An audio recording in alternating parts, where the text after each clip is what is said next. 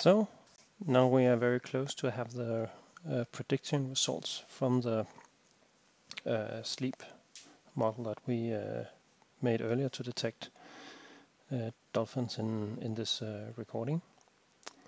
So let's just wait uh, the last 10 seconds for, for this to finish off. Um, but just to summarize, we first annotated a set of data, then we trained a model in SLEAP, and finally we have now applied that model to the detection results. And we get the results here. We can see that it has analyzed uh, about a thousand frames, and in 537 frames, um, there were instances uh, located or predicted, and that also means that there are about 500 frames without any frames uh, or instances uh, detected. We can see it here. Down here, we can actually see where it has detected any activity in it. So if we take one of the images here, we can see that it has actually detected the animal over here. Um, and we can also see where it has located the key points. And that's not my annotation, but actually what has been uh, done by the system. And similarly here, we can see it has located the beak, the, the blowhole, and, and the tail attachment, and the two endpoints of, of the flukes. So now we got a lot of data, and we need to do something interesting uh, with that. Um, and one thing we can do is to go up here and then say say export analysis CSV for the current video and we can then uh, just choose where we, we want to have it. Um, just place it down in this named uh, predictions.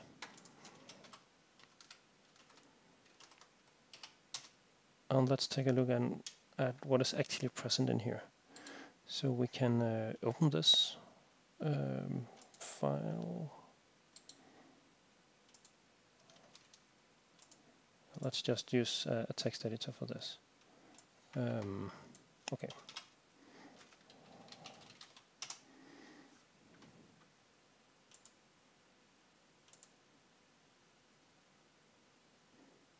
And we'll make a new document here. Just call it untitled. And we can save it um, just to the location we, we have here.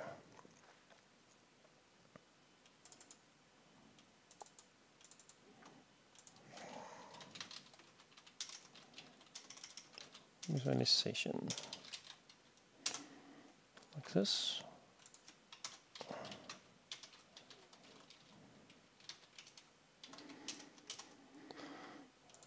And at this point we need to load the data and we can see if we can plot any of that uh, afterwards.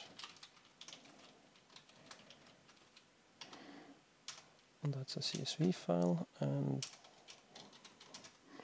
we can use the content in here. And finally we can open it here and see what we actually have of information. We have some uh, uh, information about which track it is. If we are tracking more than a single animal, we can have an identifier here. We have the frame number. We have some kind of score of the certainty of uh, what has been found. We have the location of the beak over time and a score for detecting the beak and similar for the blowhole and tail attachment and, and so on. So these are all the, the good stuff uh, we have in place here. Just to make um, an easy or quick uh, first plot here, we could uh, try to take the data, send them through ggplot, and specify we need to have the frame IDX on the x-axis and on the y-axis we want to have the instance score and then we can simply just plot it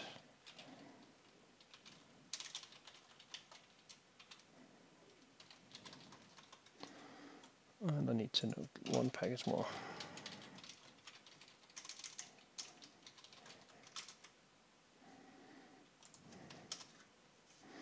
So here we can see how satisfied it is with the detection results in the different frames. So there seems to be something happening around here. Um, but yeah, let's see what we can can do otherwise with with the data here. One thing I would like to do is to actually filter the data so we only uh, have those data where the instance score is above some kind of threshold that might be free um, because then we're a bit more sure on, on what is going on. And then to plot the data I would like to show where the uh, beak x and y ends up. I would also have the uh, the location of the blowhole.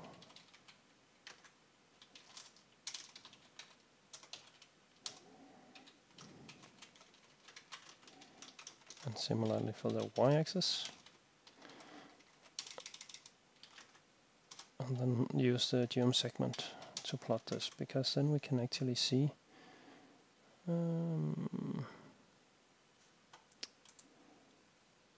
oh, I need to use a proper naming here.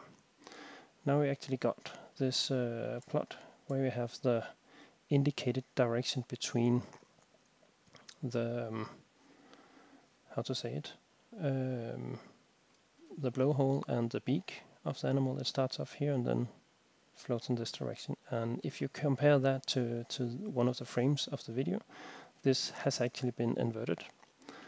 Uh, so up is down, so we need to take care of that. So we can just say uh, a minus here. Uh, on both y coordinates we need a minus, like this.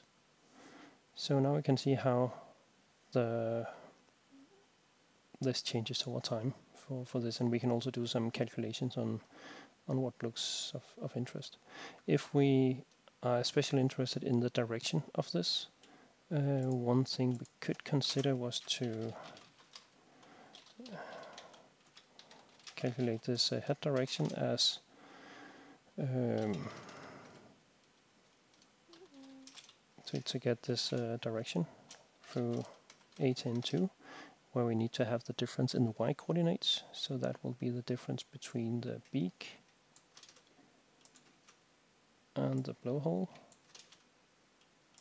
So we simply just subtract these two coordinates.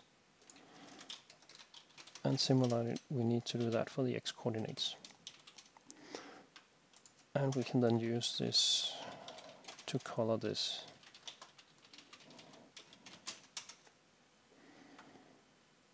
So now we can actually see, okay, what is the direction of, of this? Um, if I choose, if I had chosen a bit better color scale, it might be easier to actually see what is going on in, in the areas over here. So we can say uh, scale color um, continuous, what to do there. Let's just use the Viridis. Uh,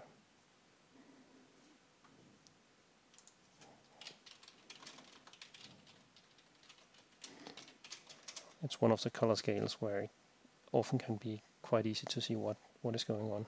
It's a bit hard to see over here. Um, we might be able to to amplify that in, in a bit, but that's not the purpose of, of the, the rest of the video.